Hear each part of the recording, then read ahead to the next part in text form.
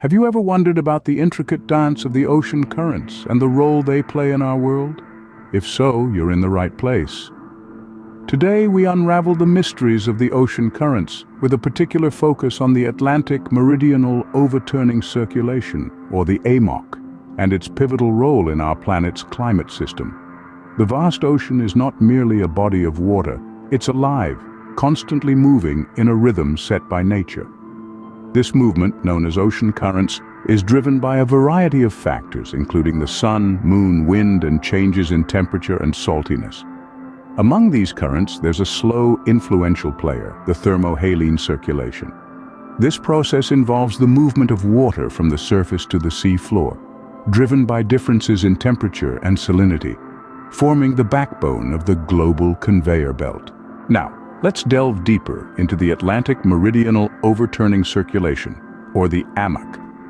This significant component of the global conveyor belt circulates water from the north to the south and back within the Atlantic Ocean.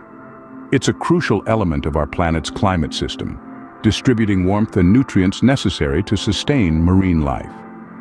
The AMOC operates on a cycle that begins with warm surface water moving towards the poles, like the Gulf Stream in the North Atlantic. As this water cools and forms sea ice, salt is left behind, making the remaining water denser.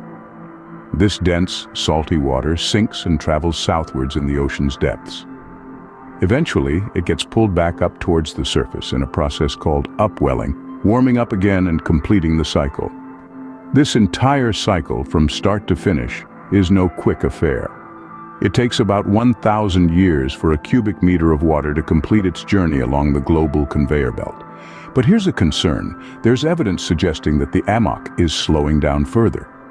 Scientists funded by the NOAA are researching this potential slowing, its impact on coastal sea levels, and its relationship to extreme events. A burning question arises. With our climate changing, could the AMOC slow down or even stop completely? While it's uncertain, research indicates that the AMOC has been weakening over the past century. If it continues to slow, the impacts on our climate could be far-reaching. For instance, the warming of our planet could shift the rain belt in South Africa due to fresh water from melting polar ice, causing droughts for millions.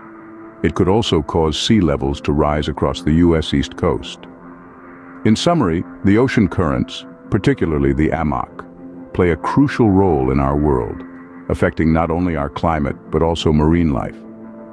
The potential slowing down of the AMOC could have significant impacts, from shifting rainfall patterns to influencing sea levels. As we continue to understand this complex system, it serves as a reminder of the intricate and delicate balance of our natural world.